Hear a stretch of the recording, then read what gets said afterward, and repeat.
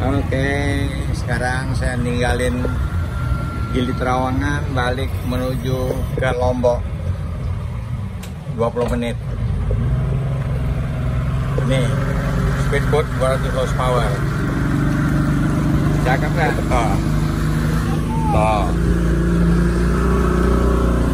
Mulai kencang ya, aku